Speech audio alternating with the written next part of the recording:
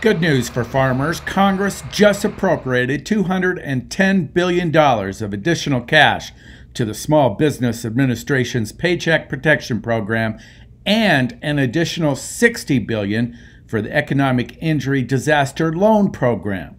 The Farm Bureau's R.J. Karney says farmers and ranchers are now eligible for the programs, but they got to act fast. Most critical right now is for farmers and ranchers to go meet with their tax accountants, to meet with their financial planners, and review these two programs since farmers are eligible for both, and have the applications ready because this money will go quickly. It's anticipated that this will be gone within four days, which means it will not last this entire week. Karney says farmers must take different steps to apply for each program. For the Paycheck Protection Program, farmers can apply for a PPP loan through a eligible PPP lender and farmers can apply directly on the SBA website for the Economic Injury Disaster Loan Program.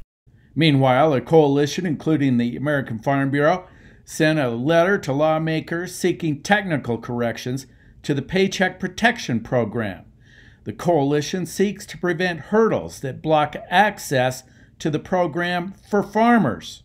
The list of priorities that Farm Bureau and 38 other agricultural organizations are working to correct for farmers in the Paycheck Protection Program is additional guidance for agricultural applicants, a definition for a primary place of residence, clarity on rental payments and business related items, and also expedited approval for applications for rural lenders. For the Voice of Idaho Agriculture, I'm Jake Putnam.